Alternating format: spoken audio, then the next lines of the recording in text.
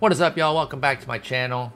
It's time for roster predictions, my favorite time of every other week. Uh, roster roster update number six is coming out, and I normally start off by saying it could be a banger.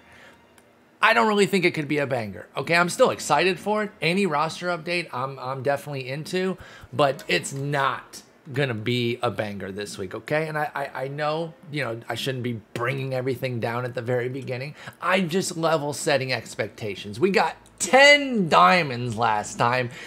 There's no possible chance of that, okay? So we got that on the table. That doesn't mean that it's not going to be good. That doesn't mean that we can't make a ton of stubs. And that doesn't mean that we can't get super prepared for Team Affinity number three. And that's going to be the focus of this roster update is setting yourself up by buying guys who are going to get big gains and and turn their exchange value much higher than the price that you're going to pay so that when TA3 comes out, you can do a bunch of exchanges for pennies on the dollar. Okay, so let's get into it. And we usually start commons, go all the way up to the diamonds. This is a part that you're really want to focus on here. These commons go for single digit prices and they're going to be worth more when they go bronze in the affinity exchange. Not to mention a few of them with their price difference right now are actually big time flips. I spent a, I spent a lot of today flipping a couple of these guys just because I was like, well, I want to have a high stock of them, but when there's this kind of divide and people are fulfilling the orders, I might as well do it. So let's get started. I got 41 names for y'all, and we're going to start here with the Giants. Uh, let me do this. Uh, let's see if we can trim this down. Let's start by going under there, just to just to cut it, and then I'll get into the golds and diamonds later, or else I'm gonna be looking through all these names all night. Let's start with Thairo Estrada uh, former Yankee who's come out here to San Francisco and he's playing pretty well and I think he's due to go up to like a 66 or so. So not the biggest of the gains here that we're going to see in the common realm, but a three-point boost. You see he's going for nothing. You can go put in anything five and above. Five is the min order on a common. Not really flippable. Who cares? I mean, actually he is flippable, but it would just take a lot to make a profit. But you're really stocking up a bunch of Thairo Estradas to get him into the bronze tier and then use him as an exchange. So I definitely think he's going to go up, uh, and I think he has a great chance to be somebody who hits bronze. But more importantly, I think the guy right below him here, Lamonte Wade Jr., is going to go up even bigger. So between the two giants here, I would invest in Wade more so than I would Estrada. Uh, he's also very cheap and he's going to go up for me to a 69. I think he's got a big boost in him. He's been incredible, leading off for the Giants, just playing remarkably well right now this team has been so fun to watch. I know they lost first place a little bit. I think only for like a couple hours in a given day, and then they won later. Uh, the Dodgers have caught up, and sorry, Giants fans, you're not going to win that division. I don't believe. I'm sure this will be clipped and shipped if y'all do, and you know what? I'll tip my cap, but I'm still putting my money on the Dodgers to win the division. But I will say, I think the Giants have staying power to at least stay in the wild card all year as long as they're healthy, which is obviously a big caveat for any ball club,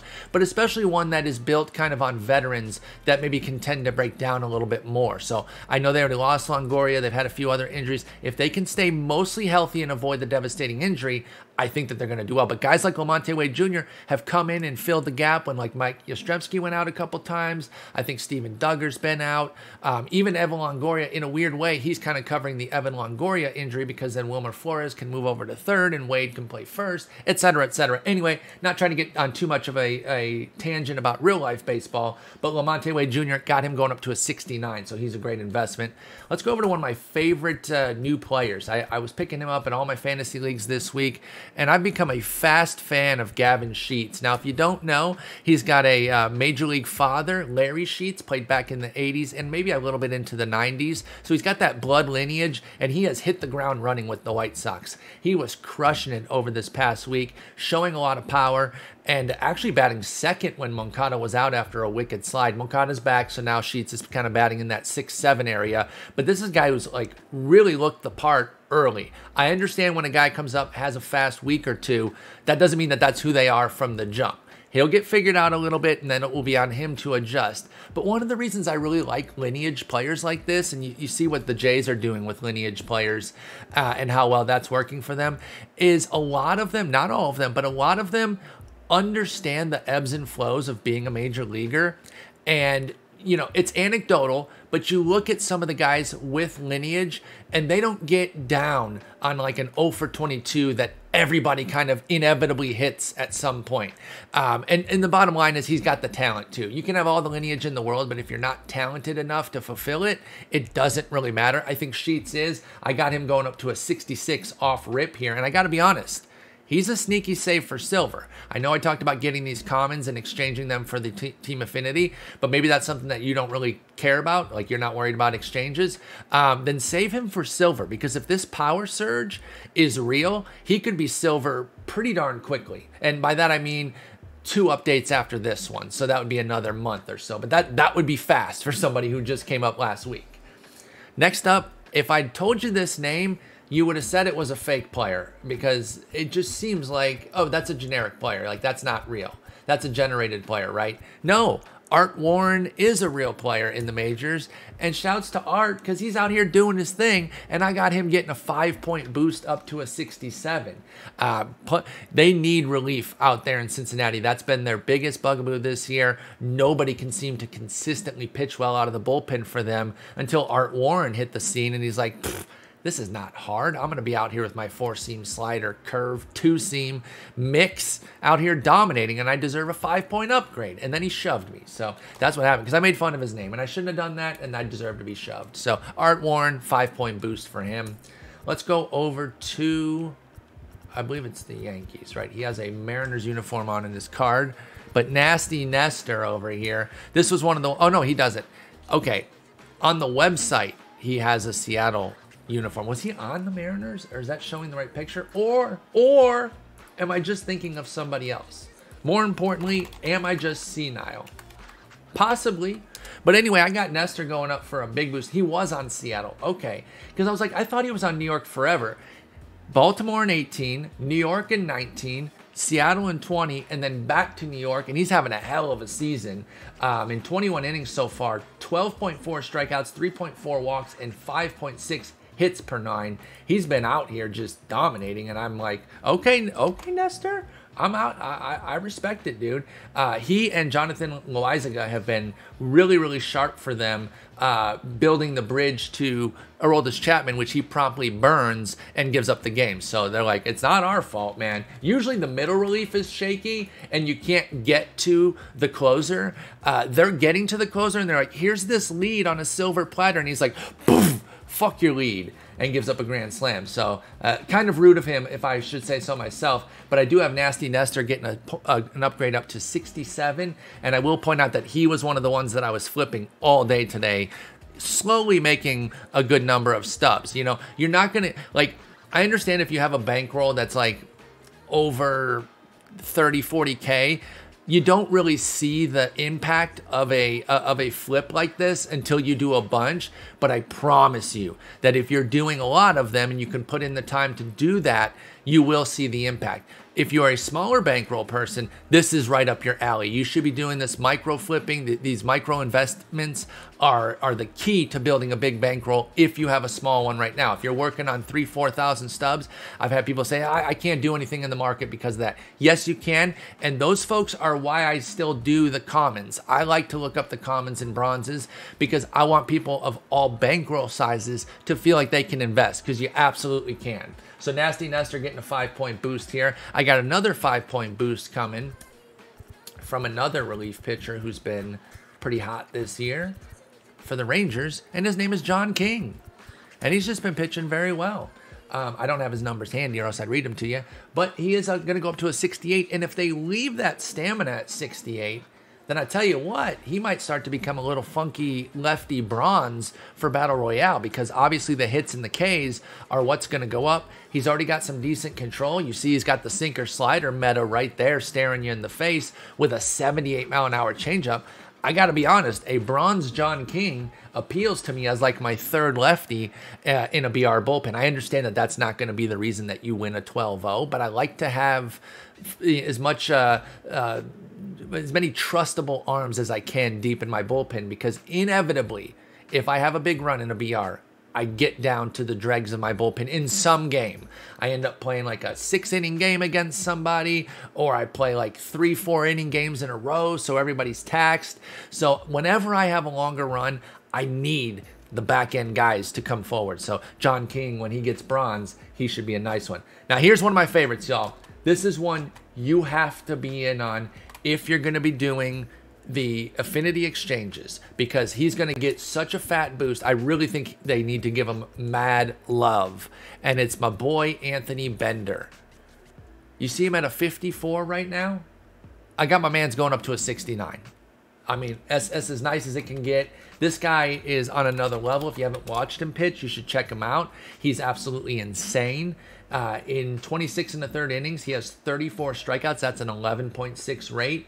2.4 walks, 4.1 hits, and even though it doesn't really matter that much for uh, MLB the show purposes, he hasn't allowed a homer, so they should boost the homer nine just for the fun of it, just to make sure that the card is as accurate as it can be. So, like I said, I got him going up to a 69, and I'll be honest, they could trade Yimi Garcia and make Bender the closer. He's 26. There's no reason to baby him. This is not some 22 year old that they kind of have to work out. They found something here and I think they've got something real. He got his first save yesterday. Yimi's 30.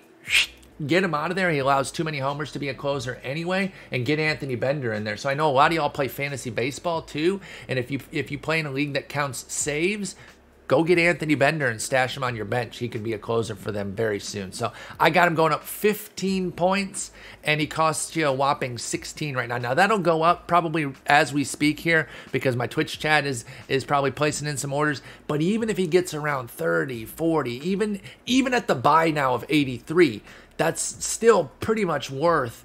Uh, what a 69 would be. In fact, let's let's see what a, what a standard 69 runs. Well, there you go. Well, actually, no, because you could put in a buy order form. So yeah, uh, don't pay over too much here. I would say cap it at like 50 is what I would pay for Bender at the very high end. But with that kind of upgrade coming, it's really nice. Plus, another great save for Silver. I think he has a great chance to be a summer Silver this year, the way he's pitching right now. Next up, uh, I did Wade because they were both on the same team. Uh, next one, oh man, where has where's this guy coming from?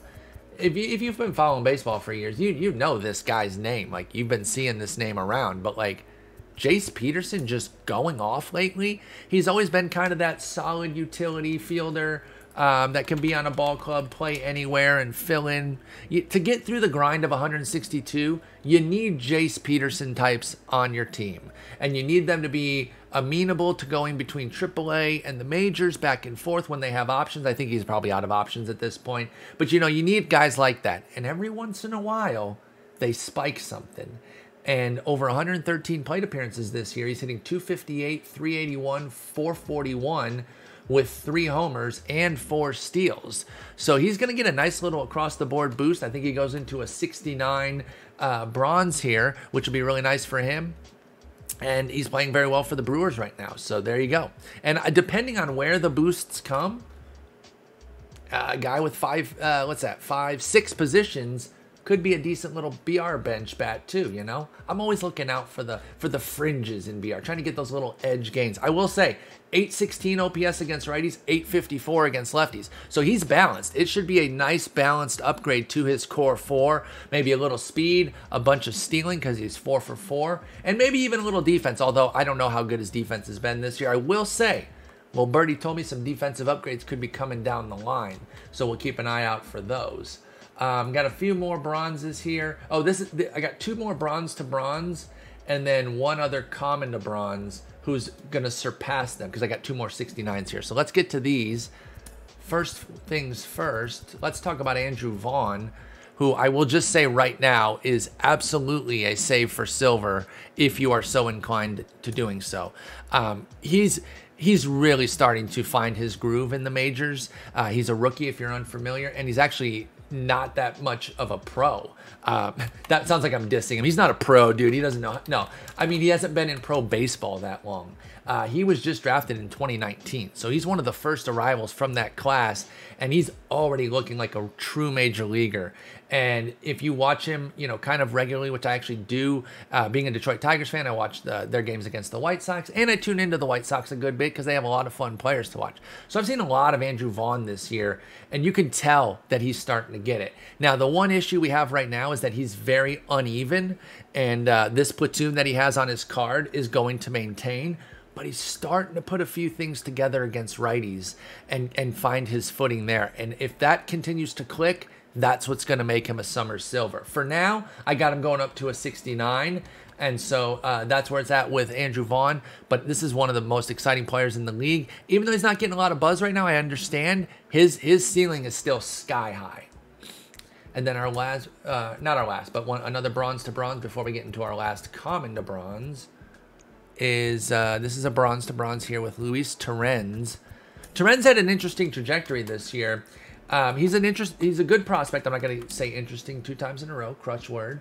Uh, but he he is a really good prospect behind the dish who you know was going to get some playing time, but basically be Tom Murphy's backup, playing like maybe once or twice a week. But they didn't really want to do that with a rookie. And then all of a sudden, Tom Murphy's like, well, how, what if I hit 192? Then I could give away some of my playing time. Wouldn't that be so cool? And uh, said, yeah, that'd be dope. Let me have that playing time. And listen, Torrens himself is only hitting 209, so it's not like he's taken. Oh, Husick just pulled a Mike Trout. Nice. Um, it's not like he's turned around and said, I'm much, much better than you, but his power has really taken off. He has nine homers on the year, a bunch of them since the last update. So we're going to see a nice big power boost for him. I got him going up to a 69, just a little two point boost for Torrens. But uh, if he can kind of do a little bit more than the all or nothing power stroke right now, then maybe even he could attack silver this year too. So we'll keep a close eye on Torrens. Now, our last common to bronze was somebody I hinted at if you've been in my stream before we started this, and it is Zach Thompson. I got him going up for a massive boost, eight points up to a 70. Um, this guy, man, listen, they just got some bad news that Sixto is going to be out for the year. He's already been out all of this year, but it's officially done done. He's going to have shoulder surgery, so there's no no dice on him this year. And if you had told me or or like a Marlins fan, hey, no six Sixto at all this year, I, am sorry, and I got nothing for you there. And and still said that they were going to have an excellent rotation. People would have been like, okay, well, there's Pablo Lopez and Sandy Alcantara, and some people are talking about this Trevor Rogers guy because he wasn't he wasn't a known commodity coming into the year. There was like some people that were in on him, but it wasn't known that he was going to put up a 222 ERA. People would have been like, what are you talking about? Well, then Lopez and Alcantara take a jump Trevor Rogers becomes a god, and now Zach Thompson is filling a fourth starter's role. Uh, in his first 24 innings, casually has a 2.25 ERA and a 1.0 WHIP. Now the ERA doesn't matter for our MLB The Show purposes, right? There's no runs per nine metric here. I'm just pointing out how great he's been, but that 1.0 WHIP absolutely plays because that means that he's not allowing hits or walks. 6.4 hits per nine, 2.6 walks, 11.6 strikeouts. Zach Thompson's getting a huge boost. Absolutely a save for Silver. And if I may be so bold, he's got gold potential this summer. I'm just saying. I mean, we're talking like August, even September type of deal. But the way he's pitching, the kind of stuff that he has, I would not rule it out. So I will tell you that that when he gets upgraded this week, I'm not putting all 70 of these into an affinity exchange. I'm going to do some of them without a doubt, but not all of them because I'm keeping a little stockpile just to see silver and then even when even if and when he hits silver, to save some for gold because I, I it's fun to be like, "Hey, I bought some of this gold player when he was nine stubs, which is what I bought most of my Zach Thompsons at. So Zach Thompson getting a big boost here. Got a few other just small little bronze to bronze updates for some guys, but they can be uh, they can be useful. Let's talk about my Tigers briefly here. And Tarik Skubal getting a boost. You see, he's he's free, or you know, base price, I should say, not free, uh, but he's 25 if you put in the buy orders because there are no buy orders right now. And uh, I think he's going to go up to like a 74. He's going to be right on the cusp of silver there he could get it. Obviously, one caveat: anytime I put somebody at a 74 or a uh, or a, a 79 or an 84, that obviously means that they're right there. So you know, if you even believe in them at all, then you should be in because there's a chance that I'm wrong to the benefit, meaning I'm wrong and they actually go silver with him. So Tarik Skubal is somebody that you should probably be in on if you believe in him, because if I'm wrong and he goes silver, well, then that's great. But even if not, if he goes to 74, then people will start to invest in him anyway, so he'll be more expensive. But he's been a strikeout machine. Uh, you talk about somebody who's found their footing. At the beginning of the year, he really was getting knocked around. I mean, the Tigers went 8 and 19 in April and earned every bit of it, and Skubal was a part of that. He had a 6.14 ERA. And again, ERA is not a, something that we measure on the card, but it just lets you know how much he was struggling. And since then, he has a 371. But more importantly, for our purposes, he has the skills to back it up, including a 12.2 K9 since May 1st. Uh, his his walk rate is at 3.4, which is fine. I think it can move up a few points, but it's not going to surge. And then the hit rate being at 8.2 is probably fine where it's at. And that's the main reason that I don't have him at silver yet because he's going to get a giant strikeout boost, but that's probably it. And and I think that's that's where it needs to be with him and he needs to prove it a little bit more, maybe bring down the walk rate, bring down the hit rate a little bit and then go to silver, but we'll take the 3-point boost, especially since he costs just 25 stubs right now. Sticking with the Tigers, best team in the league, we will talk about Whoop, nope, we will not do that. We will talk about Eric Haase. This guy's been a real fun treat. You see here, he's 27. He was not some prospect of any note. He just kind of came up and said, Hey, I'm Eric Haase and I'm awesome for some reason. And we're like, No, you're not. He's like, No, for real, I am. Watch. And he hit an inside the park home run. And then he shoved me. What a dick. Um, I shouldn't have said that he was bad. 11 homers in 147 plate appearances. Now, he does have a sub 300 OBP, so Tigers fans, which I include myself, let's a bucket of cold water over us. We need to chill. But the power is undeniable. 547 slug is incredible. He has a 299 ISO. That's your slug minus your batting average. And that keys in on your extra base power. So let's see, it's 18 of his 34 hits have gone for extra bases. That's incredible. So uh, we're going to see big power boosts for Eric Haase. And thankfully, he got a Topps Now card uh, by Topps Now Company. We don't know if MLB, the show, is going to put it in yet, but there's, the card is now at least out there. And if I had to bet, I'd say that they're going to give it to him because why not? Why wouldn't you? You know? Just look in my eyes, SDS. Why wouldn't you? Do it, please. But seriously, he's had a, a, few like really special moments to where I thought he would have already had a Topps Now. So when he hit the inside the park homer and another homer that day, I was like, they have to give him one. Well, I was checking out the archive on Topps Now and I didn't see one, so I was in my Discord complaining like Topps Now still hasn't given him a card.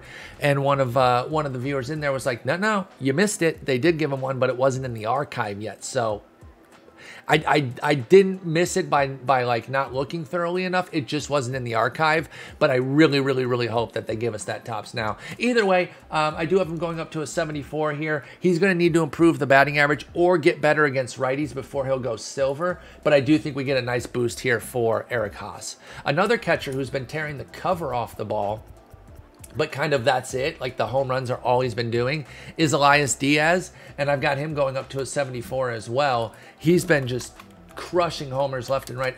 Weirdly, I, I know this is going to surprise a lot of folks. It coincides with a homestand in Coors, which hey, we don't, you know, I'm no shade on that, no shade. I'm just saying he took full advantage. Uh, five of his six homers have come at Coors this year, and he's just a completely different player. There's 756 OPS at home, 482 on the road. Yikes. Uh, but he's definitely going to get a nice boost here. If you look at what he's done since the last roster update, he has hit four of those homers in just 32 plate appearances. That's good for an 862 slug. Not OPS. You thought I was going to say OPS. That's his slug since the last roster update. He is a bit imbalanced, but it's an imbalance that reverses what we see here. He's crushing righties this year and struggling a bit against lefties. That's also why I don't think he's going to go silver, though. I think they're going to give him big love against righties, but take away a little bit of that contact against lefties to kind of keep him right there at like a 74. So that's Elias Diaz. Now let's get into some new silvers here because these these these can be some money makers and these can also be our next set of golds so always keep keep an eye on the next silvers because hey they could keep rising. First one is a guy who I just love. I mentioned him earlier when I was talking about Nestor Cortes and it is Johnny Lasagna. Jonathan Loaisiga has just been having a wonderful year.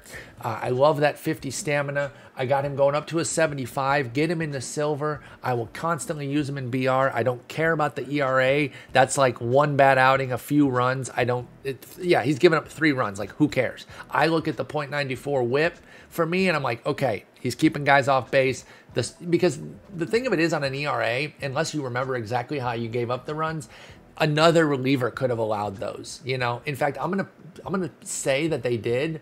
I'm gonna say that I took Loaisiga out and somebody else allowed those just because it makes me feel better about Loaisiga. Okay, I'm gonna I'm gonna lie to myself. no, but seriously, I think he's gonna get a little boost into silver. Keep that 50 stamina because he has been doing a lot of uh, multi-inning relief appearances, and I think he'll continue to be important for them this year because their rotation sucks so bad and uh, it's been really, really rough.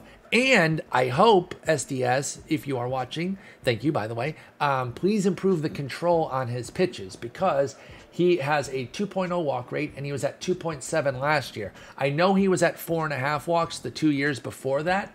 Um, and that's why his control was low, but he has started to turn the tide on that quite a bit since the start of last year. So hopefully Loaisiga gets a little control boost on his pitches as well, make him even more usable for us in BR. Staying in the same division, let's talk about the Rays rookie, Shane McClanahan. Holy smokes, this guy's a beast. Uh, it just, I'm not even talking like uh, MLB The Show because, you know, I have eight innings of whatever pitching with him. I'm talking about real life. He's so fun to watch. He's their next big thing, it seems. Uh, I got him going up to a 75. Uh, just one of the most impressive rookie lefties in the game right now. And obviously, they're going to have to put the reins on him a little bit during the season here so he doesn't get too many innings. But I do think that we have enough to get him to silver. I would say with somebody like this, because of his age and a team like the Rays that is definitely going to pull back on him, I would not necessarily hold for gold with him. We can sell or exchange our silver shares and then reassess as the as the summer progresses just because we don't want to get caught holding the bag if they either like put him in the bullpen or shelve him entirely for like a month at a time or you know for one month period just because they don't want to uh, overtax him another rookie who we've gotten a Topps Now of this year who continues to pitch well and now his his uh, live series can match that Topps Now is James Kaprielian. I got him going up to a silver. I don't know exactly how high is that uh, tops now? 79. So it's not not going to quite match. I just meant in terms of tier, not in terms of number. I'm not saying he's going to go up to 79 right now, but I do have him going up to 75. He just continues to pitch well. You know what's really interesting about him, and this is another thing that's like kind of an intangible thing that uh, you have to be careful with it because it can really blow up on you. But he really seems to uh, figure his way out of jams. There have been so many times I'm watching an A's game with him, and he's in trouble. And it's like, oh boy, here we go. The floodgates are going to open. And he gets out of it. And he consistently gets out of it. In fact, I think he has like a sub 600 OPS with runners in scoring position. And don't worry, this I'm going somewhere with this. Uh, I just want to get the exact number here. But yeah, you don't want to keep putting runners on and trying to wiggle out of it. But I, I respect the fact that he's able to consistently do that. He has a 569 with runners in scoring position, which means that that PCLT there, pitcher clutch, needs to go way up because that's a hell of a number there. 147 batting average, 333 OBP, and 235 slug with runners in scoring position. Kaprielian can get a boost there in addition to his other numbers. Now, the one thing I don't know is how much pitching clutch adds or subtracts to the overall. So even if they boost it up to say like a 75 or, or maybe more reasonably like a 65, maybe he has to prove it a little bit more before they jump him that high. But I don't know how much that's going to help us. So that's why I'm not baking that into the upgrade. I'm focused more on the skills and that will get him to a 75.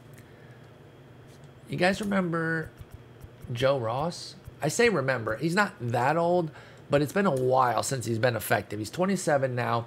He he uh, is the brother of Tyson Ross, if you remember him. Now that's a now that's a do you remember this guy type of guy.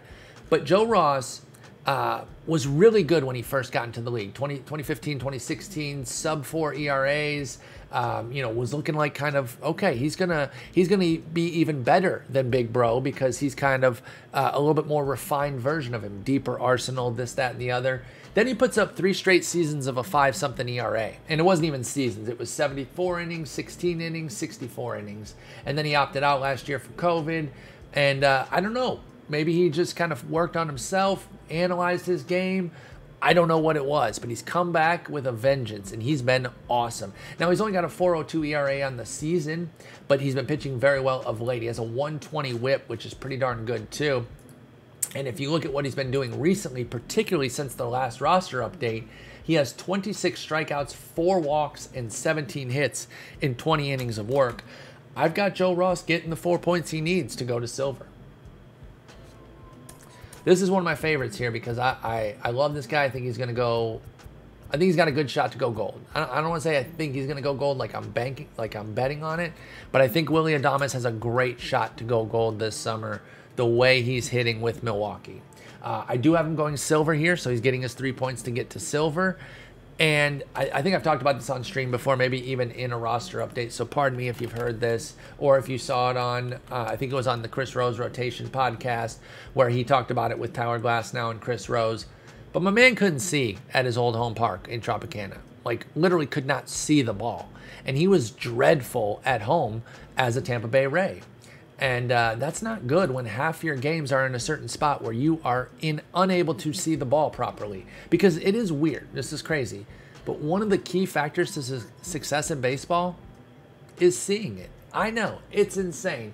But since joining Milwaukee, he's at 298, 380, 550 with eight homers. And just to give you a little idea of why finding out about uh, uh, his home struggles, I, I then turned and said, well, he's going to be an all star. Not this year, obviously, but like he, he's an all star caliber player. Because on the road for his career, he's a 300, 370, 508 guy with 29 homers in 716 plate appearances. That's basically a season. I mean, that's a little higher of a plate appearance total for most players in a season, unless you bat leadoff on a good team. But that's ostensibly a season. That's an all star season right there. So uh, he's already got quality defense too. Willie Adames is an all star now that he's in Milwaukee, and I bet he makes the all star game within one of the next two years. I'm, I'm putting it on on video. 2022 or 2023, Willie Adames all star, and I I like his chances to go gold this year the way he's hitting with Milwaukee. But I do have him going up to a 75 here. Let's move out to another rookie. This uh, another rookie starter, I should say, out here on the Blue Jays. Remember when Alek Manoah uh, had that first beastly start in Yankee Stadium. Do we take a little credit away from that now that we learned that that team is garbage? I'm just kidding. I love tweaking Yankee fans. It's so easy. They're so sensitive. Um, no, I don't care what's going on with the Yanks. You go into Yankee Stadium as a rookie and you drop six scoreless with two uh, two hit innings. Uh, that's incredible. That's incredible. Then Miami hit him a little bit uh, in his next start, and was like, oh, what was that all about? Hey, man, this is how it goes sometimes. You beast out against the team that probably should have beaten you up, and then you get knocked around for three homers by a team that you should be taking care of. Uh, of course, that was in um, Dunedin, I believe. I'm checking. Yeah, it was in Dunedin, which is a minor league stadium. So every team gets kind of super powered there.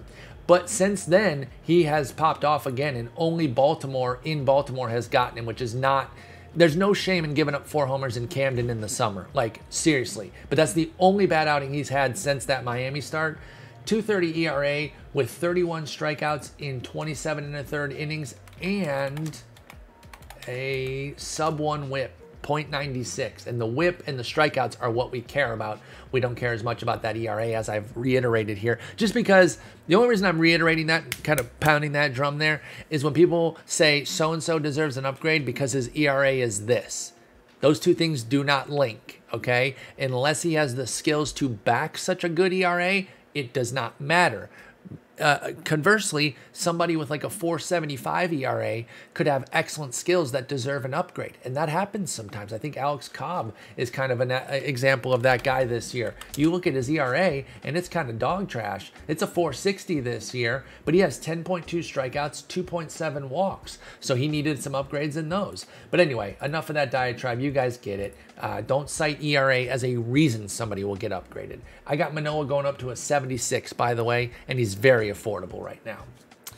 Next up is a guy who has fallen all the way down to bronze, and yet I believe he's going to build back up to gold, and that is Luis Castillo. If you've been following his trajectory this year, you know that it was rough pretty much from the jump. He had a cup, like a sprinkling of a good start here and there um, in the midst of that dead run, but it was brutal for the most part. Well, he's turned the corner and he's back, baby. I got him going up to a 76, maybe even a 77, to be honest. It's going to be two, three points, whatever it is. Either way, he's getting back to silver and setting up that that return to gold. Now, you look at his season numbers still, and you're going to be like 146 WHIP, 506 ERA, 508 ERA. Are you sure, Paul?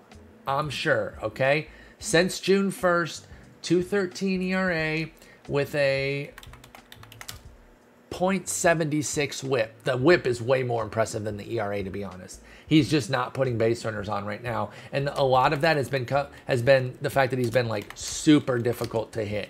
5.7 hits per nine in that span. That's fantastic. Over 38 innings, 3.6 walks, which is fine.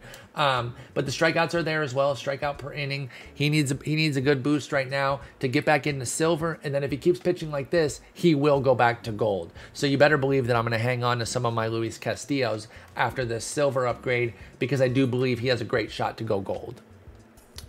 Speaking of resurrections, we talked about that with Joe Ross. Caleb Smith back. Um, you know, he did a few things with the Marlins a couple years ago, but injuries have consistently gotten in his way. Same for Joe Ross, by the way. I, I didn't get him off the hook enough for, for some of his struggles there. I kind of acted like it was all on him. A lot of it was injury, too, which is something his brother dealt with a lot. But anyway, uh, yeah, Caleb Smith has had injury issues. Uh, he's had a couple good seasons where you can kind of see something coming through, but it was never really put together might be put together here. He started in the bullpen for the Diamondbacks, but he's had to transition into the rotation, and he's been excellent. Um, you see, he's got some decent skills here. The big key is that he wasn't walking as many guys for a while. Now, he had a couple bad outings with his walks, but even his last outing, only one walk against a very difficult Giants team. Most importantly, over his last four starts, we're looking at somebody who's got 24 strikeouts in 23 innings and just a 1.13 whip. That hit nine is at 79, but I think it can go even higher because you look at what he's done in those four starts. That's a 5.5 hit nine. For the season, it's at a very nice 6.9. So I don't have a massive upgrade for him. I've only got two points right now, but the way he's pitching has been pretty nice. Now, I will say, when he goes silver, I'm going to sell all mine and, and wait He's he's too volatile and has had too many injury issues for me to hold any of the shares, but I will continue to keep him on my watch list in case he continues to pitch like this and becomes a gold candidate. So unlike Castillo, I'm going to unload all my Caleb Smiths after he gets upgraded and then circle back around if I need to. This guy is an all-star this year, which kind of surprised me. I did a double take. I was like, Nathan Eovaldi's been good enough to be an all-star? And uh, it's interesting because I love Eovaldi, and I usually get him on so many fantasy teams. I didn't buy this year, y'all. Even though he was pretty decent last year, I've just I've dealt with a lot of headaches with him, and so I kind of I kind of took a pass on him, and so I haven't been paying as much attention. And clearly, I've missed it because, uh, like I said, All Star, and he was very All Star worthy. He's been excellent this year. And one of the big reasons he's been so good, and again, this does not matter as much for our purposes, but he has the best home run rate in baseball at 0.4. So they do need to up the homer nine. I don't know if that's going to help the overall as much. Um, and maybe we can do a test to see what that does.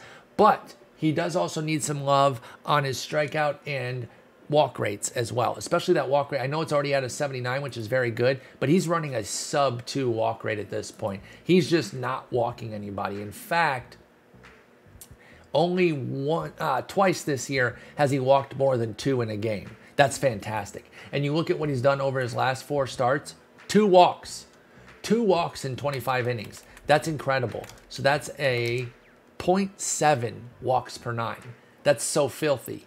Um, now, the strikeouts, the one thing about uh, Nathan Eovaldi and Red Sox fans, you, you probably learned this last year because uh, he was on the team last year and 19 actually. I forgot he was instrumental in the All Star in the uh, World Series run.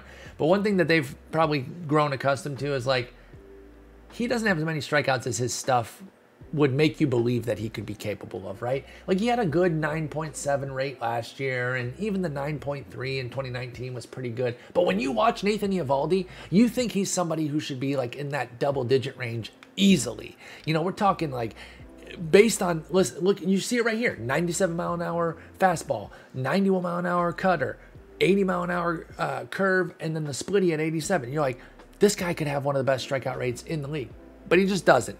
And part of it is that is sequencing, and part of it is that none of those are just true swing and miss devastators. But that's all right. That's okay for Nathan Eovaldi because we're going to get two points here, get him up to a 78, set him up for a potential gold. But I will say that gold isn't coming unless he he he jumps those strikeouts or becomes like a premium hit suppressor. But Usually, when you have this good of a walk rate, it's because you're in the zone a lot and you become a little bit more hittable because you're relying on contact to to kind of get your outs. So I think this is probably where the train ends for him at, at like a 78, 79. I don't think he's necessarily going to get to gold, but I do love the season he's having. Like I said, I'm a longtime fan of his, dating back to his days with the Dodgers. Um, I just don't think that gold's in the cards for him. Gold could be in the cards for this guy if he if he keeps cooking because Josh Bell is is getting back on track and you know they they were just dealt a devastating blow with somebody who we're going to talk about in, in a little bit here. But this team has surged. They are now 41 and 42 in second place and they were left for dead earlier. And I don't blame anybody who did that. I was among them. I, I love them coming into the year. I thought they could challenge the the Braves and Mets for the top and then they got off to the, just a wretched start. And I know because they did the 19 and 31 thing that everyone's like, never give up on the Nats. That's a totally different team, and that's like a once in a lifetime kind of scenario. Like you can't use that as a reason to not give up on a team. The fact is, they went 11 and 17 in May, and for all intents and purposes, especially given that division, because they have you know multiple contenders. So for all intents and purposes, you could have given up on them. They were 21 and 29 and it would have been fine. Well, they said not so fast, my friend, and they promptly put up a 19 and 9 um, June, and they've carried uh, they have not carried it over into July. They're one and four in July, so this team's not that great. But Josh Bell, Josh Bell, I'm out here talking about the team so much. Josh Bell has been fantastic, and he's definitely regained his status a bit after just an awful 2020 and really a terrible start to this year. So people were really questioning, you know, should I even have Josh Bell on my fantasy team? Like, what's going on with this guy? And I totally understood it. But here he is out here doing his thing. Now, the one thing I don't love about this card and the reason that I don't have him going gold right now or even being a major hold for gold candidate is he's still not hitting against lefties. He has a little bit of power because he has three homers and two doubles in his nine hits, but he only has nine hits in 52 at bats, which means he has a 173 batting average. So you see that 37 contact, it's not going anywhere. The power versus lefty might go up a little bit, but the bulk of this gain is going to be against righties, and I think it's going to get him up to a 78 for for now. And until he shows any signs of life against lefties, he's probably going to remain a 78, 79 and and not really threaten gold. This guy can threaten gold, except he plays in the stupidest park in the universe, and that's German Marquez. And we just heard today that they're not going to trade him. I didn't really think they would. Um, it's this it's this weird, you know, kind of uh, damned if you do, damned if you don't kind of thing, right? No pitcher really wants to sign with Colorado. You know, Mike Hampton did that whole thing about the school system or whatever. It's because they gave him the bag. They said, you know what, what what's the number? Right? You fill in the blank check. We want you here. Um, because it's so hard to get pitchers to go out there uh, because of how crazy that park is. So when they actually grow somebody who's truly a badass pitcher, and the only thing that makes Marquez, you know, tough to roster in fantasy or anything is that stadium, they're it's gonna they're gonna be hard pressed to get rid of a guy like that. On the other hand, if they traded him, they could get such a mint. They could ask for so much because he's also on a remarkably team friendly deal. So it's the push pull, and frankly, I don't envy the Rockies trying to figure out what they're doing there. But he had a good season last year and survived Coors. He's surviving Coors this year. Uh, he has a 3.59 ERA and a 118 WHIP. That WHIP is particularly impressive because the one thing that you know, no matter how good of a strikeout guy you are, hits are usually going to fall in Coors. Sometimes not even due to your own fault, just because it's such a spacious outfield. And in the recent years, they haven't had the best outfield defense. You know, Charlie Blackmon's still out there. He's not a great defender. Uh, they do have Raimel Tapia and Garrett Hampson, a couple speedy guys. So maybe they're chasing th- things down, and that's why Marquez has a 7.1 hits nine, which is very good. So I got him for a nice healthy update, getting up to a 78. Um, I think he I think he does have a shot at gold. What we have to avoid is the Coors blow up. And that's the scary part about investing in him for gold is that it will take just one night of Coors being Coors and then it's out the window, you know? So that's the one thing that worries me about that. But he does deserve to get boosted. He's also, I believe he's an all star, right? Uh, so congratulations to him. All right, now I got a few 79s for you. So these guys are absolutely knocking on the door. And if I'm wrong by a little bit, then they're going this week too. We'll start with Diego Castillo. Now, was it last year or two years ago, or both, where he and Jose Alvarado would threaten to go gold like once a month, both of them, or one of them at a time. Like they, they, were just back and forth. Honestly, it's probably been throughout Diego's ca- career because he's always been good. But it seems whenever he gets up to the to the finish line, to the goal line of putting it in the end zone to be gold, he fumbles. Hopefully that doesn't happen this time. He's running a career high strikeout rate at 12.5, a career low walk rate at 2.6. His hits per nine is a little up at 7.3 from his normal, but 7.3 is still fine. So I'm not I'm not shading him for that. Um, it's just a little higher than normal.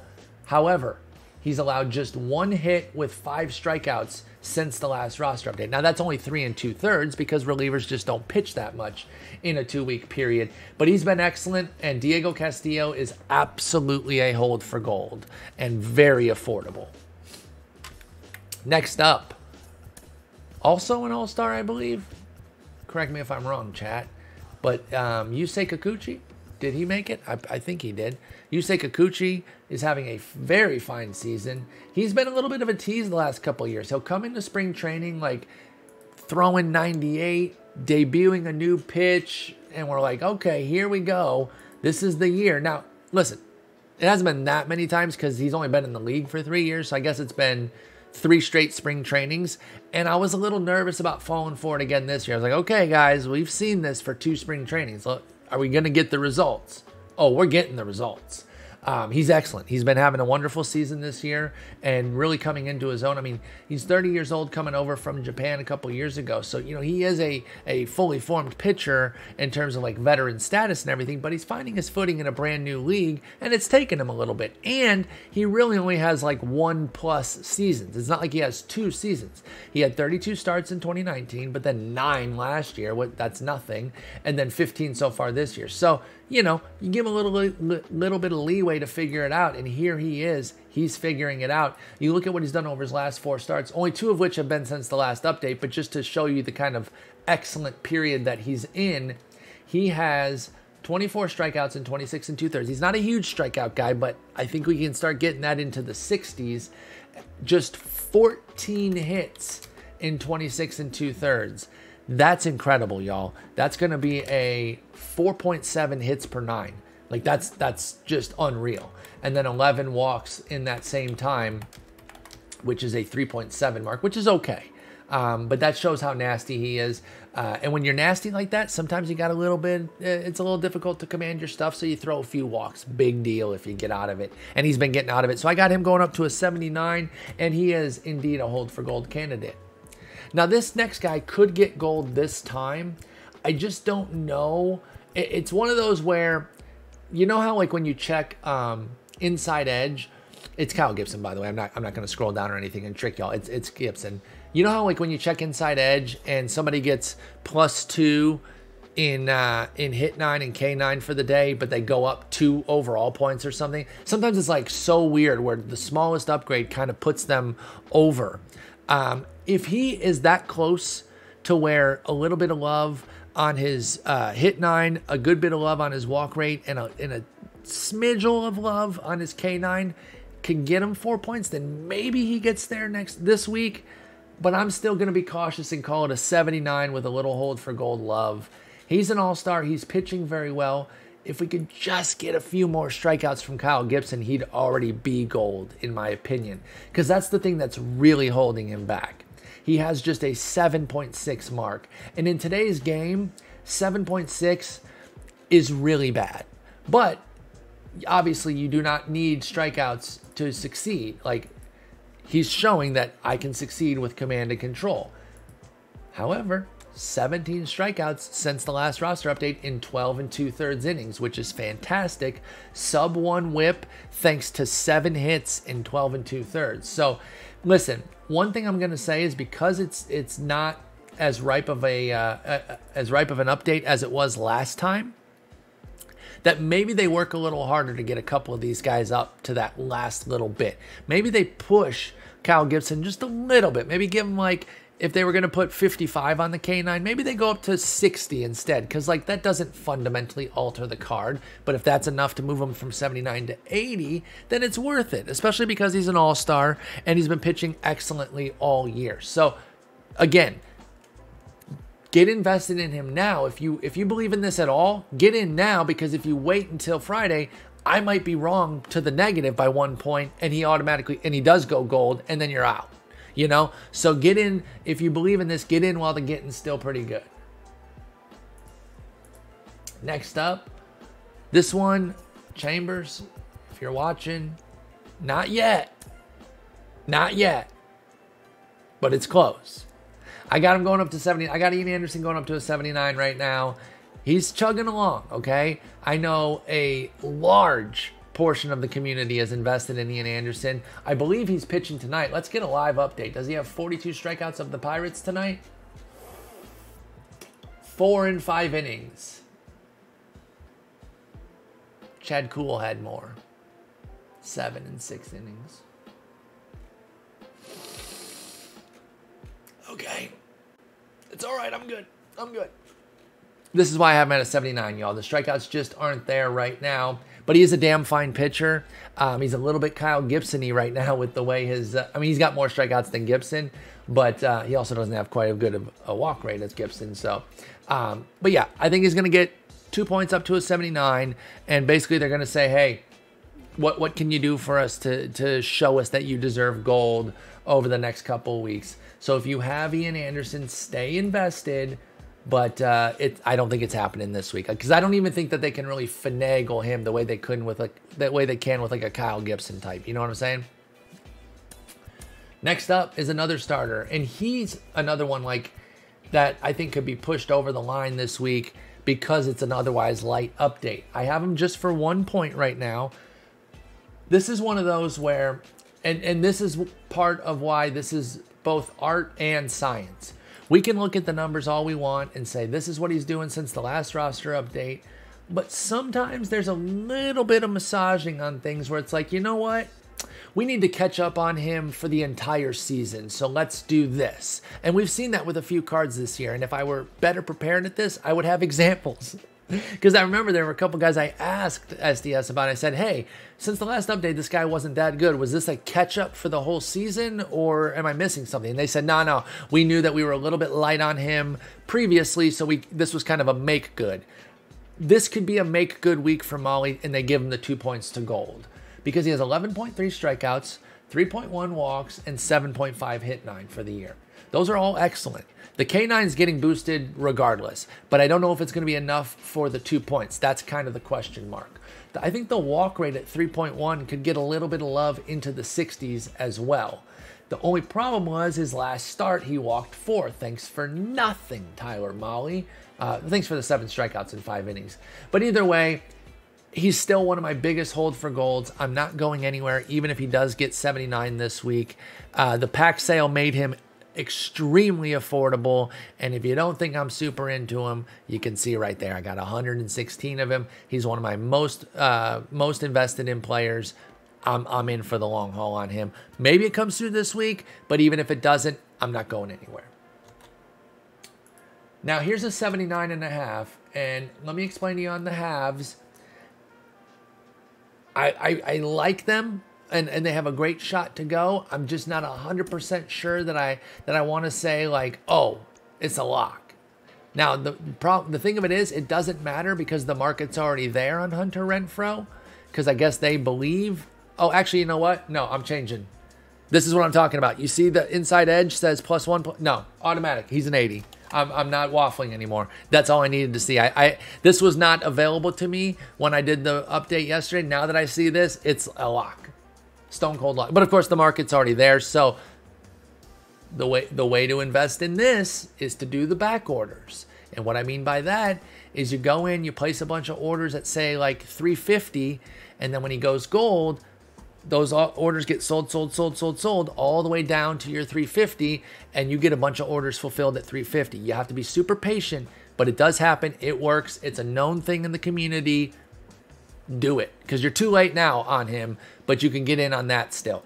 He is going to go gold. All right, now here's a guy I hinted at earlier, which you guys are smart. You knew who I was talking about when I was talking about Josh Bell, and I said we'd get back to somebody else. It is Kyle Schwarber. Now, he needs four points. So you're like, well, how the heck is he going to get that? Um, this is one of the guys I think will get massaged if needed, but I don't even know that they need to, and I'll tell you why. Let me get my, I, I made some notes on the guys going gold. Um, so, since the last update, he's decimating righties with a 320, 433, 1040 OPS, and six homers.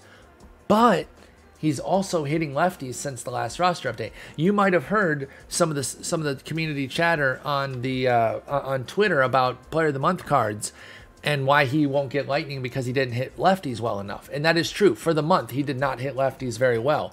He had one home run against uh, Rich Hill to kind of give him a lone homer against lefties. But since the last roster update, which is only a two week period, he's hitting 364, 462, 727 with that Rich Hill homer. So I don't even think they have to really massage it. But the reason I think that he's going to get there too, and and, and they would massage it if they had to, is because he just had a devastating hamstring injury that's going to put him on the shelf for a while. And let's be honest, our lasting memory of Kyle Schwarber should be as a gold. My man has 25 homers in 303 plate appearances. That's a gold. He's been, ah, excuse me, he's been playing like an uber diamond for the month of June, so he deserves some love. Next up is uh, lock, lock, lock uh, here, and I think the market's already there, but let's just take a look at one Ryan Pressly. yeah, you you pretty much don't. I mean, it's a lock, but I still think here's this is this is a good example of where the back ordering thing is better than just taking your guaranteed 200 stubs because if I put in a bunch of orders for 400 or 300 or whatever, however low you want to go, you know, um, that depends how long you have to be patient though too. Um, I think that's a better maneuver here than going with the 800 because he's definitely going right. Like 1.8 hits, 18 strikeouts per nine and zero walks in five innings since the last update. Frankly, I still don't even know why he lost gold. I, that one was perplexing when it happened. So he's going to go back to gold. Now, the one caveat as far as doing the back order trick with him is he might now be on the diamond train. You know, if you look, Ryan Pressly reminds me a lot of another one of my favorite diamond candidates who if you've been with me all year, you got in on Giovanni Gallegos very cheap, and now he's pretty expensive. Um, but Pressly is that same kind of guy. Like, what isn't he doing well uh, over the last three years that would kind of put him you know, into the high gold, knocking on the door of diamond realm, especially this year because he's cut his walk rate big time this year, and his hit rate is back down after spiking in 2020 to 9.0. It's down to 6.2 this year. So I would actually recommend against doing the back order thing with Ryan Pressly. And I'll just say if you didn't get in, you missed the boat. What you can do, if you want, is you could buy now at 800 and hold for diamond and then the worst case is you get your your guaranteed 200 stubs if he doesn't go diamond and you quick sell for gold actually he'll probably end up at least at like 83 if not 84 this year which means he'd be higher than the, the base gold of a, of a thousand so either way, he actually is an investment. I've kind of talked myself through the whole trajectory here. Um, so don't do the back order thing. If you're going to invest in him, invest in him for the more longer term. And uh, let's see if we can get Ryan Pressly to diamond this year. Because even if not, you know, what do they say? Shoot, sh- shoot for the moon. If not, you land amongst the stars or some stupid shit like that. Basically, we're shooting for diamond. And if not, he's probably going to be an 83, 84, which will make him like a 2,500 to 3,500 stub card anyway. And then you're still making hella profit. Bam, you're welcome. I'm a genius. I fell my fell my way ass backwards into that one. Let's be honest. Another lock for me is Raisel Iglesias. He's more affordable than Ryan Pressly right now. You know, we talked about him several weeks ago when it looked like he was going to go. Actually, I've had him. I think this is my 42nd update in a row where I've had Raisel Iglesias. Did I have him last? Yeah, I had him last update and the update before. So maybe I'm just going to predict him until he gets it, and I'll be like, ha, told y'all. They're like, Paul, you've been saying it for six years. Shut the hell up. No, but honestly, um, you know, he came up short a couple times there. I really think he's got a great shot here. I'd, I'd actually be floored if he didn't get it because if you look, his first outing since the uh, in this new update period was a two inning, uh, two innings of perfect work with five strikeouts, and that just jump started what's been a great run for him. Since the last roster update, he has nine innings with one hit, and that's it. It happened to be a home run, so he has one run, but who cares? One hit, zero walks, 15 punchies. If he doesn't go this time, then I guess he's just not going. Like, I, I, I don't know what to tell you. He's a lock. All right, let's move over to a starter who I like to go up, and that is Tony Disco, Anthony DeSclafani, he's a 78. I think he gets his two points. I'm not even sure it's going to be that hard. He's been one of the best breakouts this year. I think he gets some jumps across the board. 7.2 hit 9, 8.6 Ks, and 2.6 walk rate since the last update. That walk rate's definitely going up. That could do it alone, but I think a little bit of love to the strikeout rate and maybe even a little bit more on the hit 9 because I think his season hit 9 is quite good. Let me take a look at that. His season hit nine is 6.7, so I think that could even go up a little bit more. But the walk rate deserves big love, and that alone should get him to gold. But uh, if not, I think getting the strikeout rate into the low 60s will do the trick. So I really like Tony Disco to get there. And then my man's, he's back. Joseph. Joey Votto, man, he's out here hitting for a bunch of power, just tearing the cover off the ball, and I like to see it, man. Uh, I've been a Joey Votto fan his entire career. It was really starting to look like we were kind of hitting that uh, Miguel Cabrera tra- trajectory of his career. And uh, he said, "No, I got I got one last kick here," and he's really turned up the power, especially since coming back from injury. If we look at that period first, since coming back from injury on June 8th, he has 103 plate appearances of a 300, 388, 533 line with six homers in uh, I said 103 plate appearances. That's a 38 homer pace over a full season. So he's been amazing uh, since coming back from injury. If you look just since the last roster update, which is the most pertinent to us right now, 333, 391, 619. Uh, that's a 1010 OPS with three homers in 46 plate appearances. That's a 41 homer pace. So we're going to see some big power boosts here uh, for Votto. Let me see how he's doing against lefties on the season not so well, so that's not necessarily going to get the love. But the, I think there's two points worth of boosts against righties for him, plus a little love to his power against lefties because he does have a little bit of power going there. Now a few gold to gold moves that's going to set up some of our next diamonds. Well, I shouldn't say that because this first guy I don't think is going to go diamond.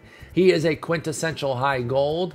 He can have diamond moments, but over the course of a full season, we do not see Joey Gallo as a full diamond because he just doesn't have the contact rate. Okay, but I do see him getting a two point boost here to get to 83, and then everyone is going to be excited thinking that he's going to go diamond, and then I'm going to have to remind them that he just does not have the contact ability to get to diamond.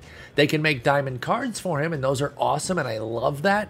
But his live series card just it, it just can't. I just don't see it right now. But I do think he's going to get a few points up to an 83. This guy, man, has come out of nowhere. People left him for dead after a disastrous 2020 with Bryan Reynolds. And, like, hey, man, we gave so many guys a pass on their 2020. but it was just like he's a pirate, so fuck him. Like I don't understand why Bryan Reynolds didn't get any benefit of the doubt for last year when he was so good in 2019. I, you know what? I know what it. I know what it is. It's because people didn't believe in the 2019. They thought that was fraudulent because anybody that that is a high contact batting average, you know, guy who runs a high BABIP, we we are trained in the statistical era to not believe in him. And I understand being skeptical of a high BABIP. That's smart because BABIPs regress. It went from 387, which is unsustainable. You're not going to keep putting that up every single year.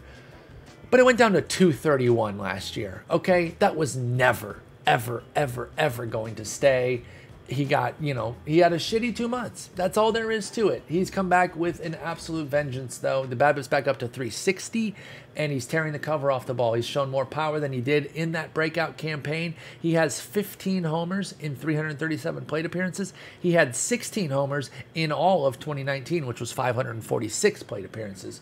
So Bryan Reynolds is going up big. I got him going up two points up to an 83. And listen, the way he's hitting, um, I'm not going to rule out Diamond here. He's going to get big power love, and don't be surprised if that contact against righty starts to move up too, because he's hitting 288 against them. So Bryan Reynolds is a Diamond candidate, and he's base price right now. So keep that in mind. Oh, see, this is what I'm talking about. When those five 1000s were sell, uh, are done selling, these 500 orders are going to go through. So somebody's going to get him on a back order at 500, and then they can quick sell those and get 500 free stubs, basically. So it's just a sneaky way to invest. Anyway, that's Bryan Reynolds. Moving on. Now this now we get to a couple guys who are basically 84 and a halves. I didn't put this guy as an 84 and a half on the sheet, but he's he's right there. I put him as an 84. Trent Grisham, it's basically can they, you know, is it there? He's surging versus lefties, but it's only eight plate appearances. So it's hard to say surging. That's really not the right. That's what I put in my notes. I'm like, you can't say that for eight plate appearances. He has done well in those eight plate appearances, but it's eight plate appearances. He's going to get some love against righties. He's going to go to an 84. Um, the question is, though, like we just saw with the Hunter Renfroe, if a small upgrade gives him two points, I can't necessarily know that without you know seeing that that that's what it is. So I'm going with an 84. I'm being conservative and being smart. But if you want in now, an 83 almost never an 83 with real diamond potential never costs this much. You need to leverage the pack sale and go get in on this guy because he does have diamond upside. This guy did get an 84 and a half on the sheet and I'm going to I'm going to explain right now why he definitely still has a great shot to go. Now, listen, the market's already here on Freddie Peralta, so this is really just for posterity's sake because uh, you don't need to be investing in him right now anyway. I did put him as an 84 and a half because if you go off of the last roster update, you know, the, the period since the last roster update, he doesn't deserve it. Plain and simple, he doesn't. Um, he has he has a uh, 6.8 walks per nine since the last update. That's horrible. And that's the biggest issue that he has. However, channel my, my inner Stephen A there. If you if they wanted to do like a catch up scenario like I was talking about earlier where they say, "You know what? Let's analyze this more holistically as opposed to just zooming in on the last 2 weeks." Then they might be able to get him there because they could see, okay, you know, o- over the last like two months, he has a 3.7 walk rate, which is a little bit better. And his hit nine for the season is 4.1, which could go even higher than the 103 that he has here. Same with his strikeout rate. So it's one of those, if they decide to go with a more uh, uh, whole season look, he's going to get there. If they just go off the last update, then he's not getting there. So I don't know. But again, it truly doesn't matter because the market's already there anyway. So if you weren't in on Freddie Peralta already, don't worry about it. But if he doesn't go, buy the dip. Buy the dip because people will will panic sell their faces off. And then to wrap up, I got two diamonds for you. I don't know how investable they are, so let's take a quick look. First is Barnes, Matt Barnes. I got Matt Barnes going. Okay, I know the community is a little split right now. I got him going partly because it's a light update. I think that they'll they'll you know they want to have some diamonds, and I think he's he's definitely one of the best candidates recently. We've been kind of waiting with bated breath every time he comes in, hoping that something bad doesn't happen. But again, if they take the more holistic approach, he has a 2.4 walks per nine on the year, and 62 is not representative of that. But even if you look at since the last roster update, he's been good. He's been good. He gave up, didn't he give up like a homer? I think that's it. He gave up one homer. So yeah, you look since the last roster update, he gave up an unearned run and a homer. Otherwise, he has nine strikeouts and six and two thirds, along with two walks. Now the two walks gives him a 2.7 walks per nine. That's that's good.